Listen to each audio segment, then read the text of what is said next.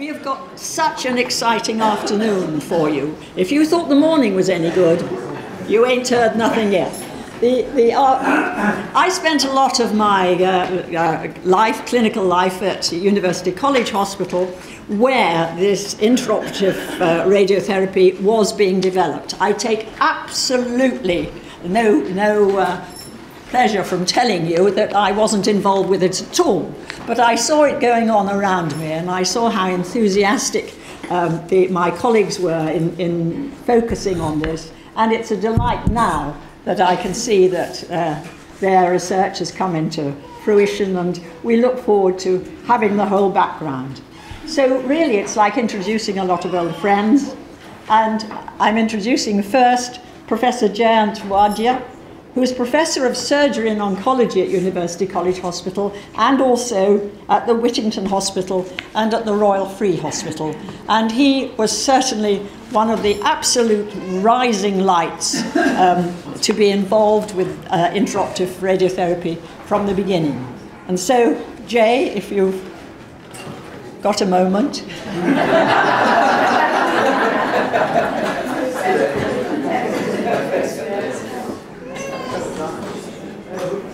Thank you.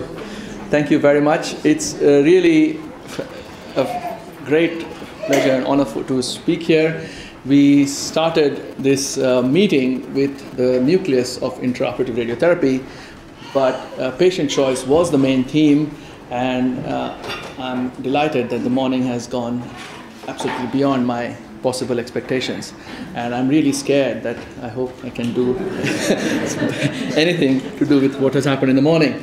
So um, I'll talk on intraoperative radiotherapy. My talk has a few um, graphs, but to balance it, I've got several photographs, and I'm a fan of photographs. So you'll see, uh, I want to talk two slides.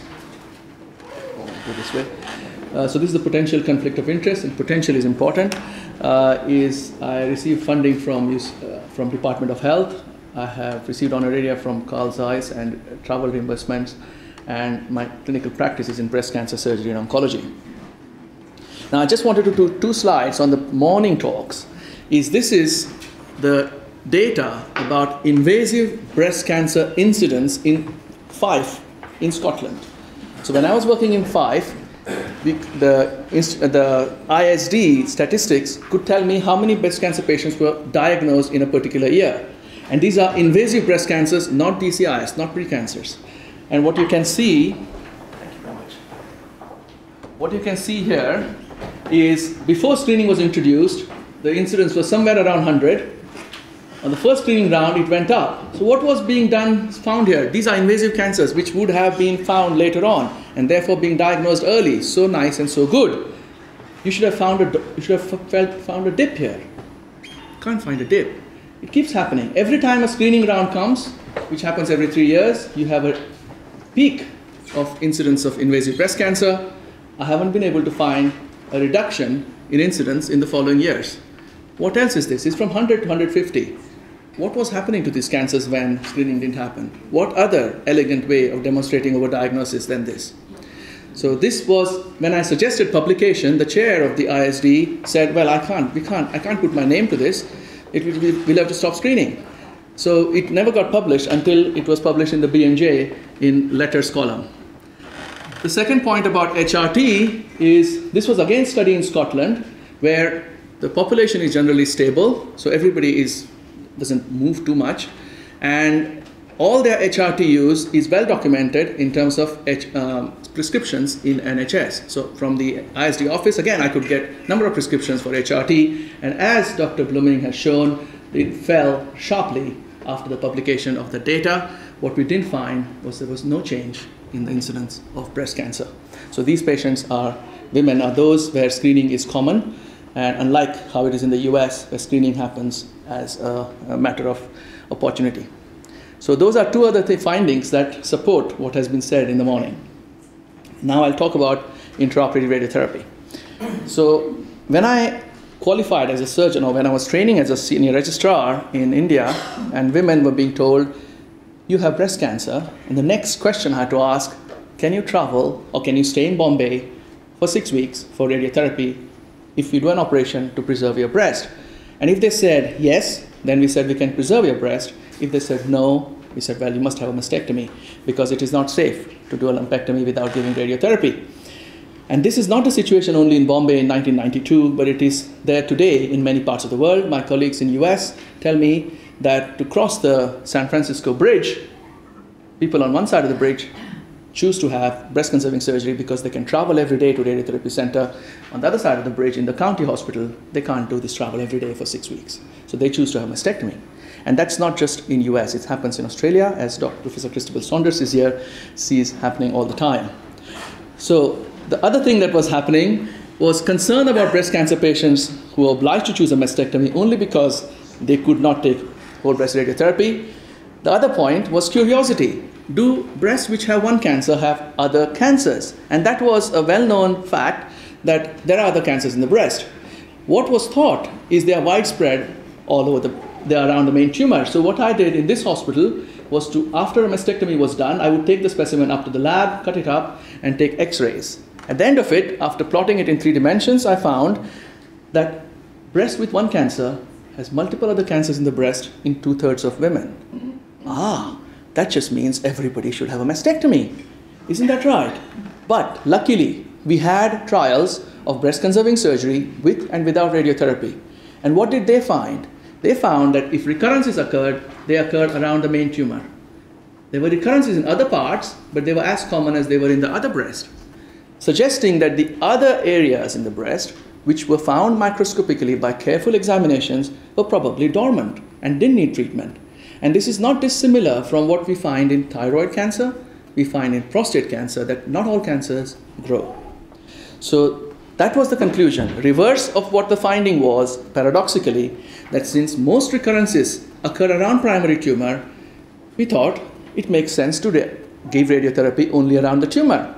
And if you could give it during the operation, that would save women from having a mastectomy unnecessarily. With this, I came to London and met Professor Baum and Professor Tobias, and that's how the story started. So, this was academic insight that led to the idea that we should give radiotherapy only to the tumor bed during lumpectomy, that led to collaboration with the industry to develop a device to test this new hypothesis, and then clinical trials to test the new approach, in which we were testing both the device as well as the approach based on the principle of precision and immediacy. So this is the slide which shows you the machine which is sitting outside. You can see the machine in real life in the uh, other room in which this globe enters the breast in this way. This is the cavity left behind after the tumor is excised and radiotherapy is given to the tissues immediately opposed to this spherical applicator.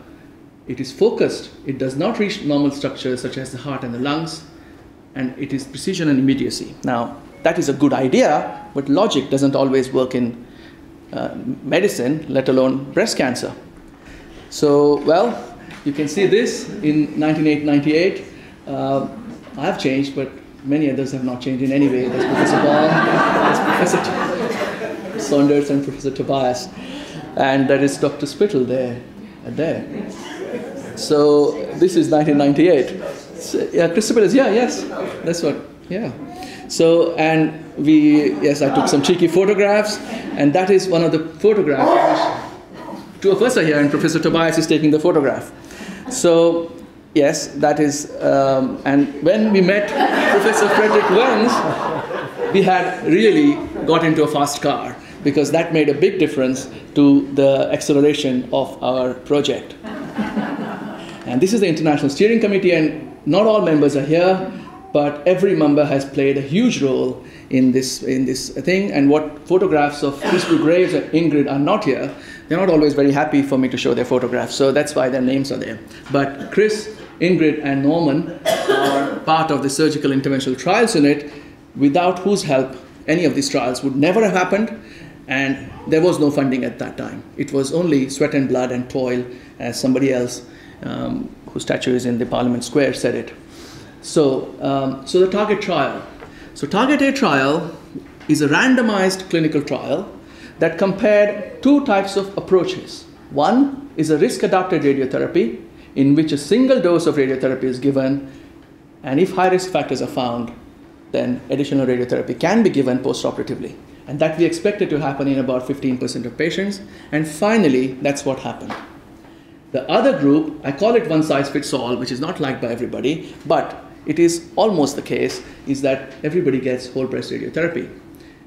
We started with 2,232 patients, but then the number expanded to 3,500 patients, and this was a randomized trial for anybody who is over the age of 45 with a single breast cancer, with a size about 3.5 centimeters in size. And acknowledgements are due to 30, 31 centers in, in the world, in 11 countries, patients, clinicians, and staff from all these hospitals. So it is a trial from uh, so many patients, one trial, two treatments, 11 countries, 12 years, 42,000 forms, and about 1.5 million data fields.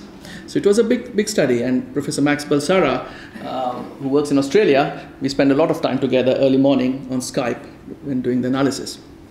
So TARGIT-A trial accrual was from 2000 to 2012. We published the data for the first time in the Lancet in 2010, and as planned, we analyzed it again in 2012 and published it in 2013-14, where we found, and this was our conclusion, which was put on the masthead by Lancet, quite surprised to me on the day when it came out, is for selected patients with early breast cancer, a single dose of targeted radiotherapy delivered at the time of surgery should be considered as an alternative to external beam radiotherapy. And that was in 2010. That's eight years ago. A full report was published in 2016. This is by Department of Health publication, and uh, the whole of that 250 page report is available for public. So, what are the most important results? The most relevant results in the dark cloud that uh, a woman faces is what is my chance of being alive without breast cancer coming back in the breast? And that answer is this. The red line and the blue lines are the two arms of the randomized clinical trial. And what you find that there are 57 events versus 59 events. It's a strange way of saying an event is somebody has had a local recurrence or somebody has died. That counts as an event. And you find that the two arms are light on top of each other at five years. If you do disease free survival, that is any disease coming back, even that, the two arms are on top of each other. So here you have data that shows that the two are as good as each other in terms of controlling cancer and usually more convenient. And in order to explain this to, well, Idiot's Guide is this one, in which you have each dot representing a woman. The gray dots are those who have died in TARGIT arm versus EBRT arm, and the, the brown dots are those who have had local recurrence. The difference between the two is not statistically significant, but numerically they are slightly different in each way. And this we feel should be one way in which women could be explained the difference between the two groups to make a decision which they would want to choose. One of the criticisms of the TARGIT, trial, TARGIT-A trial is that, oh, the follow up is not long enough. But it's a very large trial. And the first 1,222 patients have a median follow up of five years, which is considered adequate. Now, what might be the reason why it's considered adequate?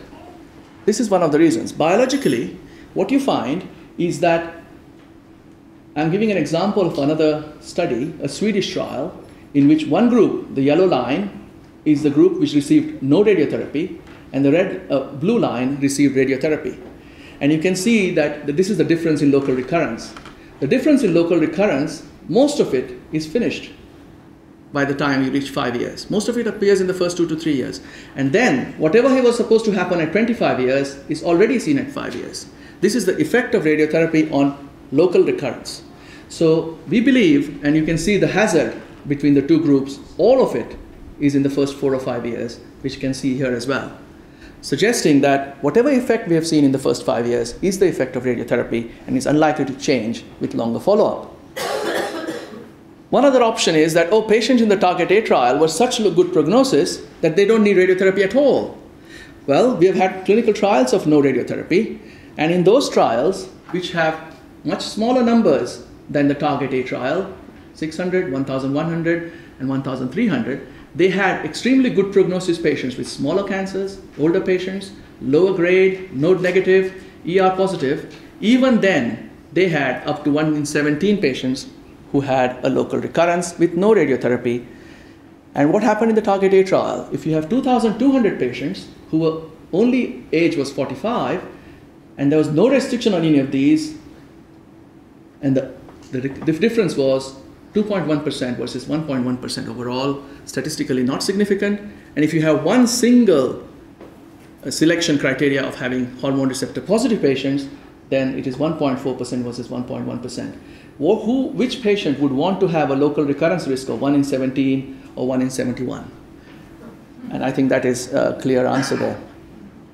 What about the main biological hypothesis which we started with when I started the talk is that the other cancers in the breast do not matter. Now, this is the study which was published in 1996 that two thirds of breast should have other cancers and 80% of these should be in other quadrants. So, giving radiotherapy only to the tumoral, peritumoral tissue does not, does not jeopardize local control. That is the hypothesis. So, if two thirds of the patients have additional foci, 80% of these are in other quadrants, therefore 0.8 times 0.63 is 0.5. That's about half the patients should have recurrences in other quadrants. And what did we find? In the trial, we had 800 patients who had only radiotherapy around the tumor. You should have had 400 patients who should have recurrence in other quadrants. And what we found is that there were seven who recurred in the scar, six who recurred in other, other breast, and of these 405 supposedly malignant cancers, only two recurred. So, really, there isn't much difference between these, and these don't all recur. And what happened in the randomized trial? In the randomized trial, whether they had IORT as the randomized arm or EBRT, number of recurrences in the other quadrants was exactly the same, suggesting that our hypothesis is probably right. And putting it, distilling down to the patients who are really going to be treated in IORT, you find that the difference in local recurrence for those group of patients who are selected to be ER positive and IORT is given during surgery, you find there is no difference in local recurrence. Those two lines are on top of each other. There seems to be a difference in deaths. I'm going to come to that, and that is really very important. So, death is a very important endpoint, particularly when there are more deaths than local recurrences in the population of breast cancer patients whom we treat. Of these 3,500 patients, there were 88 deaths. 52 were from breast cancer and 36 from breast. 52 were from other causes and 36 were for breast cancer. So there were more deaths from other causes in patients diagnosed to have breast cancer within this trial. There were 34 local recurrences. So these 52 deaths and 88 deaths are really quite an important endpoint. So, what did we find in the TARGIT trial in terms of total number of deaths? and you plot this graph showing this is 0%, that's 10%, it's not 100%. And what you can see that these lines are separating. There seem to be more deaths in patients who are randomized to receive external beam radiotherapy compared with intraoperative radiotherapy. There is no difference in breast cancer deaths, but there seems to be a statistically significant difference in deaths from other causes. And what could be the other causes? The other causes difference was from deaths from other cancers and deaths from cardiovascular causes. The numbers are small, it's 2 and 8, so they are not very large number of patients, but the difference was statistically significant, suggesting that it is likely not just by chance. An important analysis of those patients who were screen detected, and this has very much a relevance to what we have seen in the morning, is there were large number of patients in this were screen detected patients. You can see that that is screen detected out of the whole number. Although there was significant number who were in worse prognosis group, the screen detected patients were more than 2,000 patients. That's a large trial, even amongst those who were screen detected. And in screen detected patients, number of patients with breast cancer deaths were exactly very similar, statistically not different. But non breast cancer deaths were significantly more when patients received whole breast radiotherapy. This was statistically significant, and there were fewer deaths with IORT, and overall, there were fewer deaths with uh, intraoperative radiotherapy, a difference of about 2%. So in screen detected patients, there was a 2% difference in overall mortality. Is this plausible? And this paper was shown by Professor Baum earlier. This paper from Oxford shows that the toxicity from screening, from, from giving external beam radiotherapy to the heart, happens in the first five years even. So what we saw in the first five years is not too early, it is plausible. And because there was so much doubt whether it's really true or not, we did a meta-analysis of all trials in which radiotherapy was targeted to the area around the tumor. And we published this in the Red Journal, which is a top radiotherapy journal. And it was one of the most downloaded paper in 2016. And what we showed is these are patients who have received this side, this graph is called forest plot, and if any of these results are on that direction, it favors partial breast radiation. If it's in this direction, it favors whole breast radiation in terms of these outcomes. So, non, in terms of breast cancer deaths, this diamond, which is a summation of all these studies, sits on zero. There is no difference. If it sits on that side, it means that it is favors giving intraoperative radiotherapy or targeted radiotherapy. And it shows that there is total number of deaths are reduced by giving targeted radiation. And when the last study on this was published earlier this year, we published this in Lancet and updated it, showing that clearly by giving targeted radiation, there is a reduction in overall mortality. Now, if you look at the numbers from this, if it reduces mortality by 1 or 2%, doesn't sound large. And if you take the reverse, that giving normal radiotherapy increases by 1 or 2%, let's extrapolate this. 20,000 patients would be suitable. 1.3% mortality reduction would estimate 260 fewer deaths. If you had a faulty car that caused 250 deaths in a year on the roads, would that car not be recalled? So, are we suggesting that we should not recall these? So it's imperative, I believe, at least, that this should be an option to suitable patients. And it gets worse. In smokers, and again, this graph was shown in the morning, that if a smoker at the age of 50 gets external beam radiotherapy, their risk of dying from heart attack and lung cancer goes up to 25%, 23%. This is an increase of 6%. And by no way would giving external beam radiotherapy reduce their chance of dying by 6%. So 23% smokers who have external beam radiotherapy will unfortunately die because of heart attacks and lung cancer. This 6% increase is a large number, and therefore giving radiotherapy intraoperatively to these patients would in addition reduce their mortality by another 6%. So I believe that for patients who are smokers and screen detected, is it even ethical to continue to offer external beam radiotherapy? There is an interesting biological point I would like to make here. Is this is that timeliness of radiotherapy may be vital. And this is a study done in Italy with Dr. Samuele Massarut and Dr. Gustavo Baldassarre, in which we took wound fluids after an operation and put it on breast cancer cells to see if what effect it has. What we found is that putting wound fluid stimulates cancer cells. It's scary. We're doing an operation. Wound fluid is normally meant to improve wound healing, so it's stimulatory to cells. It seems to stimulate cancer cells as well.